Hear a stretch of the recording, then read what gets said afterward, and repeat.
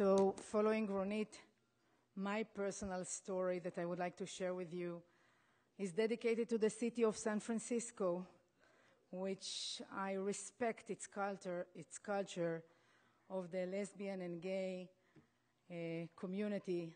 And this is going to be my story dedicated to you. So, I will tell you about Avigail Sperber, which I'm in love with. An Orthodox lesbian woman. Don't tell my husband. But she is amazing. She is amazing. She's a daughter, third in the row of a family of 10 people, religious, national religious family in Jerusalem. Her father, Rabbi Sperber, is a very well known and in Jerusalem won an Israel Prize about he's a scholar in Talmud. She remembers that from very, very, very early stage, she, she was unsure about who she is.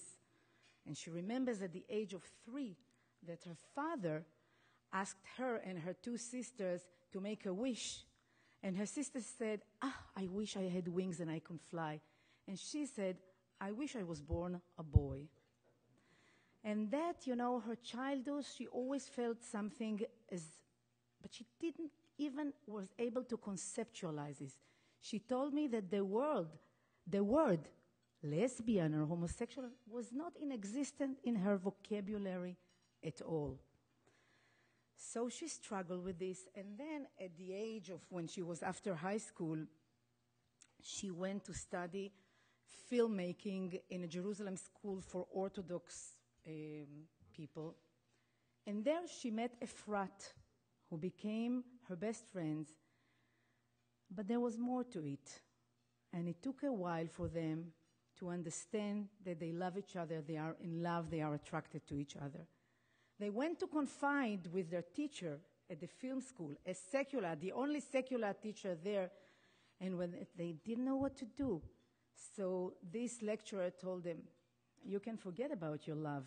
In your community, you don't run a chance. So, which made them even more desperate.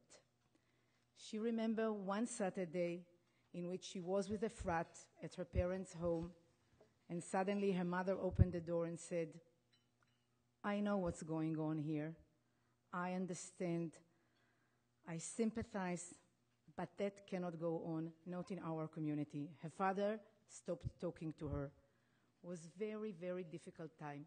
She now, in retrospective, says, this, at the end of the day, was the scariest moment of my life, but the most liberating moment of my life as well. So she decided to move to Tel Aviv. And she wrote, and if and we will not start talking about which parade is nicer, the Tel Aviv or the San Francisco. Okay? That's a different story. So, she came to Tel Aviv and she wrote a script to cut us. Uh, I can speak about it forever. I am in love. So, she wrote a script about a lesbian Orthodox woman who is, and the some local newspaper wrote an article about it with the title, The Daughter of the Rabbi is Getting Out of the Closet. And from that moment, she started getting emails and phone calls, and she realized that there are hundreds of women like her who are trapped in the religious community and don't have any outlet. They are desperate, they are lonely, they think they are the only one. And this is how this whole idea of creating an organization which is called Bat Kol, I cannot even translate it, it uh, has like a game with words, started. And um, it's amazing. She said at the beginning, you know, there were only few who came and they sat in each other houses Gradually, it grew. More women heard about it. She got more calls. And as they become more known, the tension became much bigger. The rabbis were angry with them. Some husbands were angry with them as some of these women got the courage and left. And she felt that this is, whole thing is going to somehow dissolve and collapse. she was desperate what to do. It's different when you have a group of 10 women who confide in you and when you are really approached nationally by hundreds of women. And this is how she got to know NIF and Shatil. A consultant of Shatil helped her navigate through this mess in which the Haredi women want something else, the Orthodox women want something else, and especially help them grapple with the idea what is my role in life? She said, if God creates everybody in his image, how come he created me as one who is committed to be sinful? How is that possible? How it coincides with the Jewish religion, which is a, supposed to be a moral and just religion? And, you know, she had to grapple also with the fact to convince her parents, her father especially, to get closer. That the problem is not with us, but the problem is the, with community who cannot accept us. And she said, Then I understood my mission in life to help not just the lesbian women, but those who are different, and to educate my own community to accept the different. This is a real tikkun olam.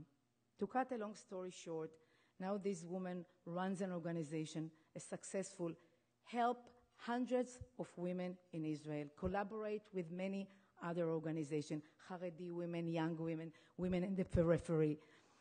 And they made roads to the rabbis. They now accept, not all of them, it's a long process.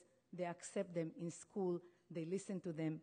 So I can tell you that NIF had the privilege to help this amazing Avigail Sperber, amazing person, to become a leader, to create the first and only lesbian organization in Israel who impact and I would say often save the lives of so many. If this is not tikkun olam, tell me what is it. Toda רבה.